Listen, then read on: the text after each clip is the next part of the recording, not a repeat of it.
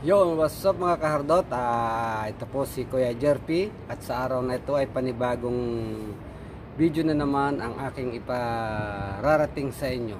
At bago ko umpisa niya, na isa po munang panalangin. Lord, salamat po sa biyaya at pagpapatnubay mo po sa akin at lalong higit po sa aking buong pamilya at sa mga taong nakapalibot sa akin ay bigyan mo po kami at saklawin ng iyong liwanag sa iyong kabutihang asal Panginoon. Lagi mo po kaming ilayo sa anumang tukso at pangadid, lalo hingit po ang aking pamilya na nasa Pilipinas. Maraming salamat po Panginoon sa pangalan ni Jesus, patnubayan mo po ang aming mga gawain ito. Amen. At yun mga kahardot, at shout out muna sa asawa ko na nasa uh, Gabon Kalasyaw, Pangasinan. Uh, kay Mami Gigi I love you Mami. At lalo higit sa lahat ng mga nanonood ng video kong ito mga kahardot ito po at ipakikita ko sa inyo ang simpleng gawain. Itong tiles nito kung tawagin natin ay interlock tiles. Ayan ang interlock tiles nito ay iniupo sa gravel ang preparasyon ng paglalagay nito dapat ay ang gravel filling mo ay nakalibel. Kasi kung hindi nakalibel ang gravel filling mo, hindi magpapantay sa, sa required elevation yan dito. Ayan, kaya nakaliot yan. Ang gilid na yan may, may elevation. Makikita nyo yung buhit na yan. Nakalibel yan dyan. Ang isang magandang paglalagay nito, dapat yung gravel na yan ay level na level para magpantay-pantay sila. Tingnan niya, may line dory siyang nalagay ng line dory. Diretso doon ang line dory, ayan. Dalawang gilid, yung tatlong gilid niya naka-layout para para mag-equal yung uh, pagitan nila. Dapat yan, hindi mo agad bubuin. Dapat magli-layout ko doon sa isang tabi doon, saka isang gilid, dalawa sabayan. Parehas ang Ayan, pagkakabit niya, no? Kita nyo? Yan, yung butas na yan, ang ilalagay niya pagka ang final nito, graba din. Pupunuin ng graba yan. Yan yung butas na yan. Graba din yan.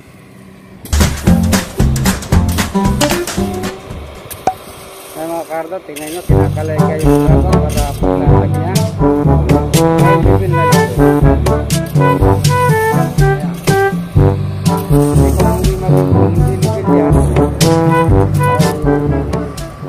Magpapantay ang ibabaw pangit.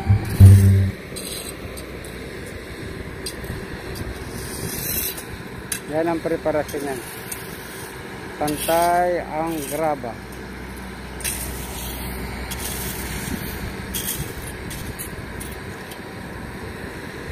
Tapos,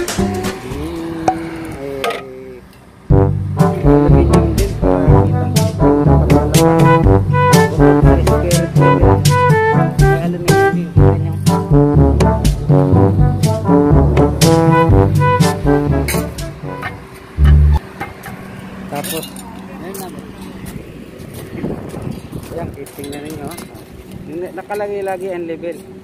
Ayan, level na yan. Ka-level dito sa lendory. Yan ang sukat niyan.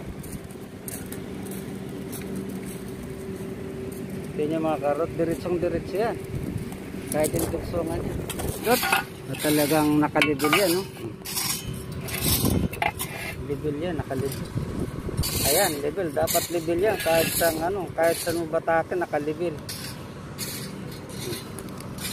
Ayan. pokpok.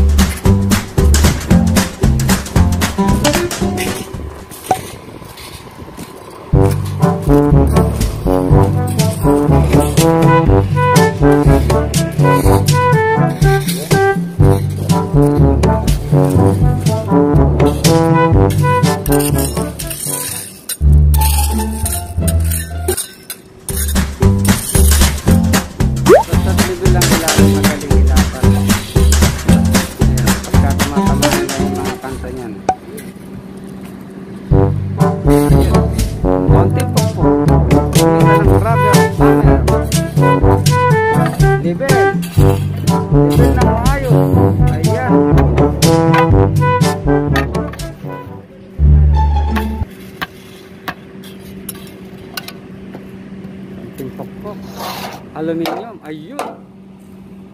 Very nice. So, kita nyo?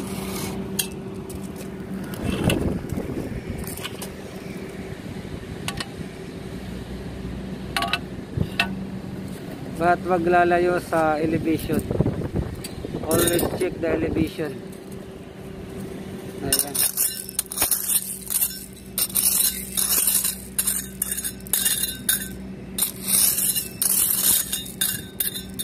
ang graba. Sukat Basta ng na. graba. Ah,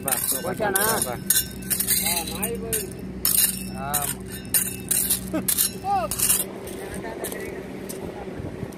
ayun.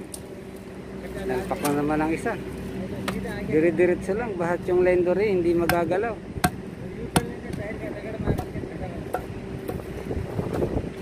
Yan ang sistema niyan. Kasi mga interlock blocks na yan, may mga level.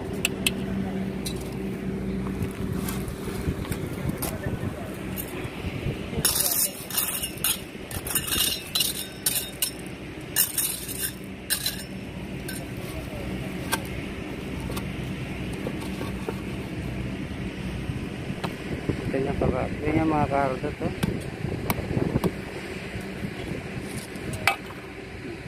Ano lang ang sitis niyan?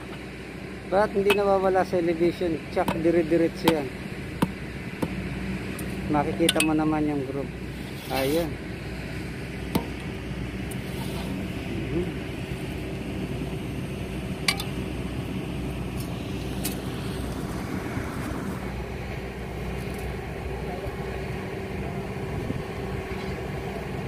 Ayan, no? Diretsong diretso yan. Bahat yung line dory mo ay hindi magagalaw. At uh, chichikin ang sukat hanggang dito. Para malaman kung ah, may nagkakaroon ng diferensya. Ayan. Uh, napakasimpleng pagkabit ng interlock. At ipakikita ko sa inyo ang mga natapos na nito. Just always level the ground surface. The gravel ground surface level. Then wala kang magiging problema sa mga paglalatag mo ng ganitong klaseng interlock. At pag ah, yun mga kahardot, ah, mapapansin nyo, eh, yan na yung mga natapos na nalatagan nila. Oh. Oh, ayan. Kahit saan mo silipin, ay nakadiretso ang kanilang mga linya. Ayan. Ayan. Basta always na nakaperpendicular ka sa ah, gilid ayan dalawang maglalay ka ng mga line dore left and right. Para naka-square ang paglalatag mo nito. At pagkatapos niyan lahat na final yan yung mga butas na yan pupunuin din ng graba. Graba din ang ilalagay niyan. Ang purpose niyan kaya ito nilagay ito parking area ito. Kung umulan man ah, hindi mag stack up ang tubig. Diretso yan sa ilalim kaya yan ay puro grabe lang nilagay dito. Ang pinagkalatagan niyan naka-grabe. Two layer yan. Bali 40 cm gravel filling. Unang at yun, maraming maraming salamat sa inyong panonood sa video kong ito mga kahardot. At yun nga, ang, kung mayroon ka mang nakuhang impormasyon sa video kong ipinakita sa inyo ay maraming maraming salamat at congratulations mga kahardot. Yan po ang simpleng paglalagay na pag-install ng interlock tiles ng ganitong klase. At kahit sa ganitong kainitan ay dinadala ko sa inyo ang video ito ng mga konting detalye procedure. Yun. Uh, shout out sa asawa ko, Camilo Gini Pasina ng Gabon Kalasyaw, Pangasinan at sa aming lahat ng mga anak at sa aming mga kapatid at lalong igit sa magulang at mga apo. Shout out po sa inyong lahat. Welcome, welcome and God bless. Ayan, nakita nyo sa likuran ko ang uh, ikinabit na interlock tiles. Ayan.